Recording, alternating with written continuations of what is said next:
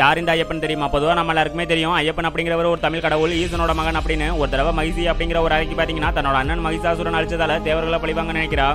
அதுக்காக பிரம்மா கிட்ட தவிர இருந்து தன்னை சிவனுக்கும் திருமாலுக்கும் பிறக்கிற குழந்தையால மட்டும்தான் அழிவு ஏற்படணும் அப்படிங்கிற ஒரு வார்த்தையும் வாங்குறா. அதுக்கப்புறம் தான் தன் அந்த மூன்று லோகத்திலையும் பூமியிலையும் அழிக்க யாருமே இல்லை அப்படிங்கிற ஆணவத்தோட இருக்கும்போது மோகினி அவதாரம் எடுத்த விஷ்ணுவுக்கும் சிவபெருமானுக்கும் ஒரு குழந்தை பிறகுது அந்த ஒரு குழந்தை தான் ஐயப்பன். அந்த நேரத்தில் பாண்டிய வம்சத்தோட பந்தல நாட்டு அரசனான ராஜசேகரன் அப்படிங்கிறவர் சிவபெருமான் கிட்ட தனக்கு ஒரு குழந்தை வேணும் அப்படின்னு தவறு இருக்காரு. அப்பதான் மனிதனா பிறந்த ஐயப்பன் கழுத்துல ஒரு மணியோட ஆற்றுக்கரையில அந்த அரசனுக்கும் கிடைச்சிருக்காரு. சரி இது நமக்கு கடவுளா கொடுத்த ஒரு குழந்தை அப்படின்னு நினைச்சு அரண்மனைக்கு எடுத்துட்டு போகும்போது அங்க அரசனுக்கு ஒரு ஆண் குழந்தையும் பிறந்திருக்கு வீரத்திலையும் அறிவிலையும் சிறந்ததோட சிவனோட அம்சத்துல பிறந்ததால ஐயப்பன் அந்த நாட்டோட அரசனாக்க முடிவு பண்றாரு.